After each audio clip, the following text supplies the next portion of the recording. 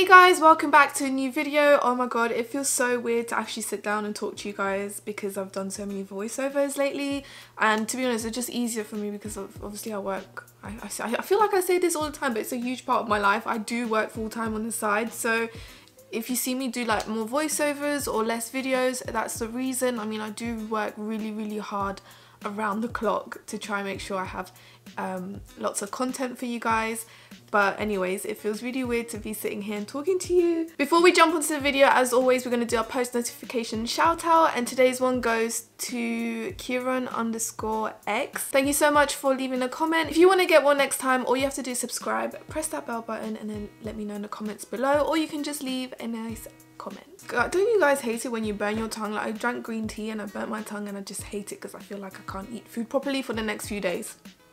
Anyways, today we have a really, really exciting video. We're going to be reviewing the new NYX Can't Stop, Won't Stop concealers and powder actually. You guys know I absolutely love the foundation. I have a review on it, but I now use Golden. It's just a better match for me. In the review I used Cardamom, which is a bit more dark. I think that would be more my summer shade. I feel like even this one is a bit, bit darker for me right now. They do oxidize, so just bear that in mind.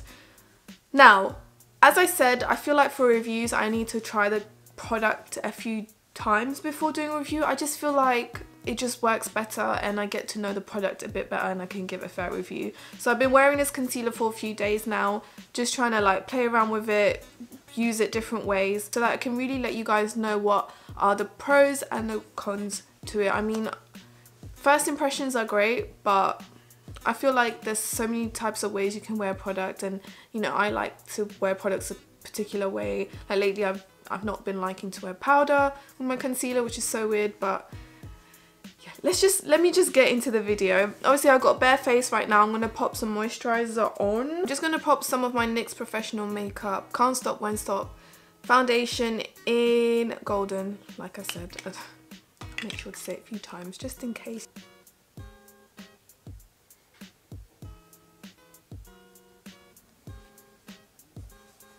I'm just gonna blend this with my Eco Tools sponge.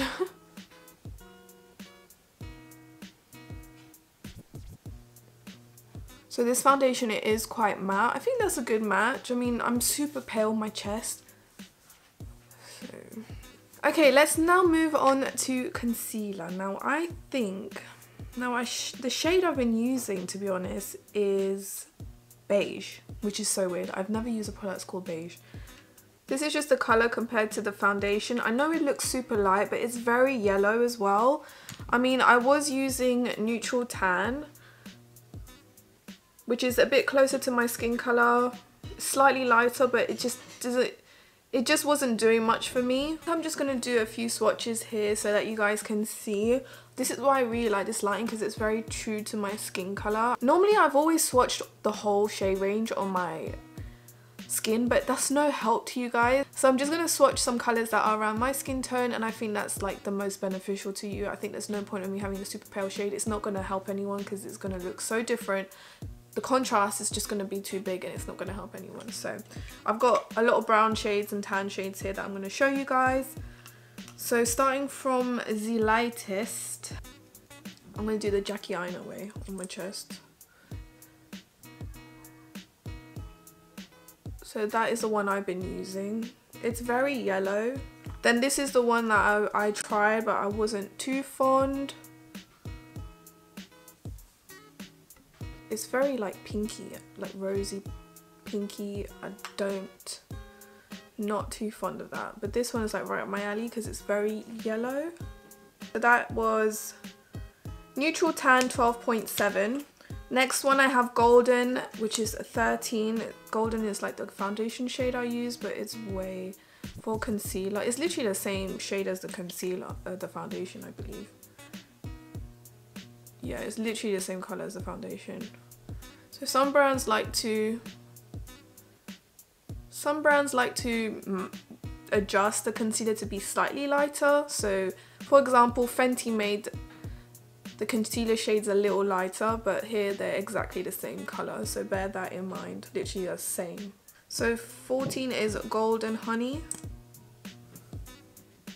I really like the doe foot applicator as well. It's very soft and a bit flimsy, but it makes the application even better. So that's Golden Honey. 15 Caramel. Now this one was like really dark for me. Not really dark, but I could use this around my mouth area to be honest. It's very nice and very nice olivey kind of warm colour whilst these ones are very orangey. I Don't know if you guys can see this is more olive warm. That's why I like this one because it's more olivey. They have 24 shades in this. But I just really like the undertones and they have a good even share between all of them like light, medium, tan, deep, dark shades. They've got really nice rich shades in there which is always a plus. Next one is 15.9.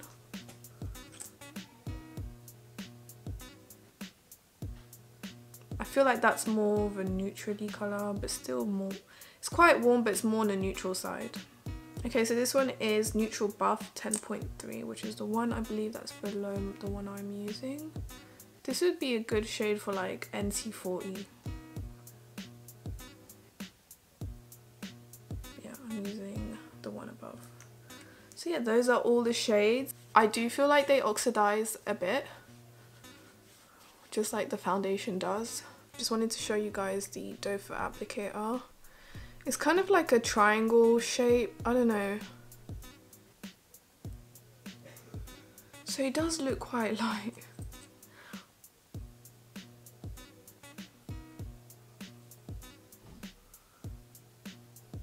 So I'm just gonna use my sponge.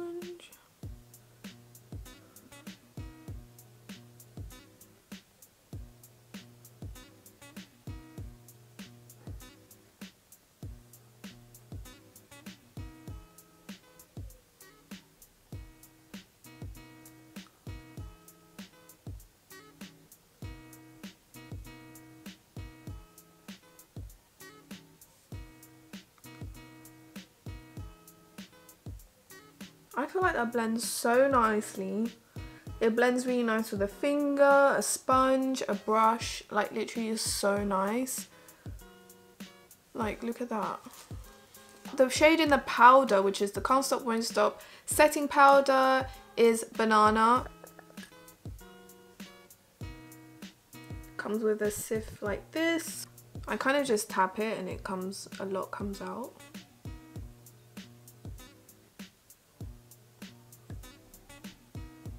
Just gonna brush the excess off.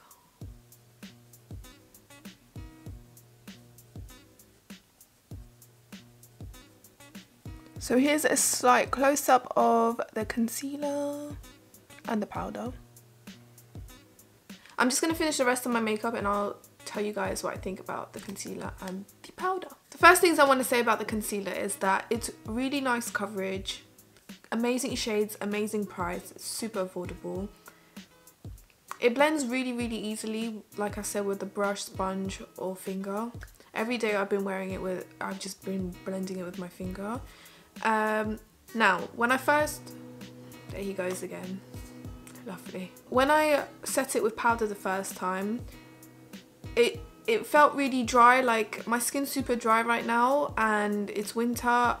I feel like this concealer would be best for me during summer where my skin gets more combination. But yeah, it definitely felt more dry. So I was like, okay, let me try this concealer because the concealer is quite dry itself anyways. Um, so I was gonna, I said to myself, let me try the next day without powder. So I just blended it with my finger and walked out the door. And I did realize there was quite a bit of creasing and movement in the concealer. Like it went a bit patchy, definitely went creasy and the coverage didn't stay much. So definitely it does need some powder. So when I wore it with powder the third time round, I drenched my face with setting spray, especially under my eyes. And like honestly, it gives this finish and it's so nice. I'm really happy with the shade, the concealer. Even the powder is really nice. But yeah, just if I don't set with something that's moisturizing, it's very dry for me. Like I have to say that. If It's quite dry for my skin type. If you're oily skin, you're to love this and the powder. The powder is just really nice as well itself. And they have quite a few shades. Like right now, it just looks super smooth. I'm going to show you guys. Super close up. So I think that's the only issue because when I set with powder, there's no issue creasing or anything like that. I think it's just the dryness for me. Doe Foot applicator is really nice as well. So would I recommend this to you guys? Definitely because it's such a nice product. Just bear in mind that if you do have dry skin, like if especially if you have super dry under eyes or maybe like more to eczema side, maybe this product isn't for you. For eight pounds, you know, it can do no harm. I will be, right be buying this in my shade. Like I really do like it. The coverage is spot on and I love the shade. I didn't the shade is so weird like I'm using beige it might look really light but it's so perfect like I really like the shade of it um but yeah I think that's all I have to say guys. Those are my thoughts on it.